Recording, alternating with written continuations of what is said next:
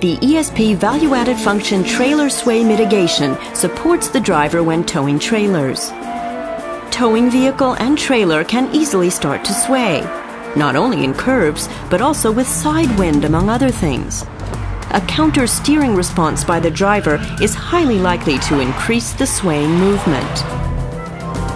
The trailer sway mitigation function detects swaying movements by the trailer. Active ESP interventions eliminate the sway. Via braking of individual wheels and a reduction of engine torque, the function stabilizes the trailer and towing vehicle. Bosch, invented for life.